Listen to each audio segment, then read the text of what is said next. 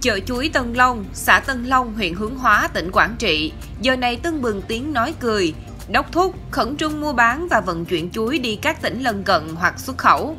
Bắt đầu từ ngày 20 tháng Chạp, hàng ngàn người dân huyện miền núi Hướng Hóa, tỉnh Quảng Trị lại tất bật thu hoạch chuối mật mốc đem ra chợ chuối Tân Long chào bán, phục vụ Tết Nguyên đán. Chuối mật mốc ở miền Bắc còn gọi là chuối ngự.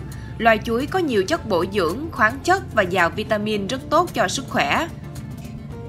Chỉ vừa mới dừng xe rồi vài câu trả giá qua lại với tiểu thương, anh Hồ Văn Viên, xã Thuận, huyện Hướng Hóa đã bán hết 8 buồng chuối cho thương lái với số tiền 9 triệu đồng. Anh Viên phấn khởi, năm nay sản lượng chuối thấp vì điều kiện thời tiết không thuận lợi. Tuy nhiên, giá chuối cao nên mỗi buồng bán nhiều tiền hơn.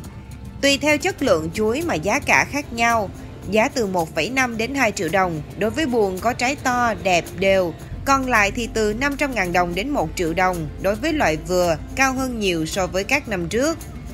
Cạnh bên anh Trương Công Đoài, 47 tuổi, ngụ tại thôn Long Giang, xã Tân Long cho biết, năm nay giá chuối mật mốc tăng cao. Gia đình trồng gần 10 hecta chuối mật mốc và chủ yếu được trồng ở Lào. Dịp này xuất ra thị trường khoảng 500 buồng chuối. Với giá thu mua tăng cao như hiện nay, ước tính riêng vụ chuối mật mốc Tết này anh lãi khoảng 200 triệu đồng sau khi trừ đi các chi phí. Được coi là thủ phủ chuối mật mốc của miền Trung, huyện Hướng Hóa có trên 4.000 hecta chuối tập trung tại các xã vùng lìa và một số xã dọc tuyến quốc lộ chính như Tân Long, Tân Thành, Tân Lập. Chuối mật mốc của người dân huyện Hướng Hóa còn được xuất khẩu đi các nước như Trung Quốc, Thái Lan.